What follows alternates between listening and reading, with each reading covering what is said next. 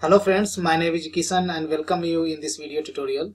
In this video tutorial, I am going to show you how to download Oracle WebLogic server.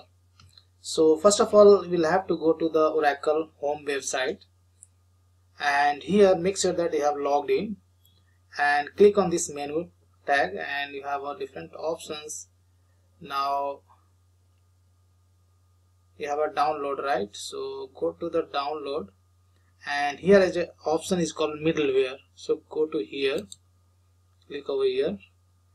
And here on the right section on bottom we have a WebLogic server 12c so let's click on it.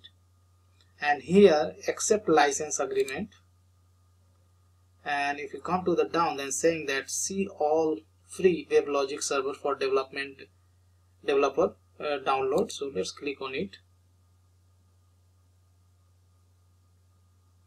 now again accept the license and click on the generic.